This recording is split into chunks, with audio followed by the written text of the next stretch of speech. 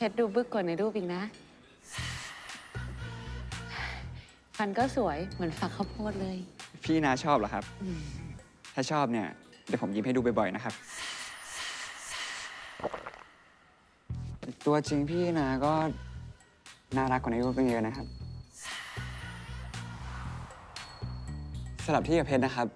ฝั่งพี่โดนควันแน่เลยอะ เดี๋ยวผมเหม็น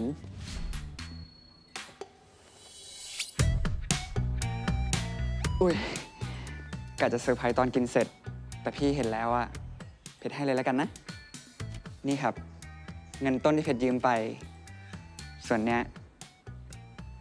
ดอกครับ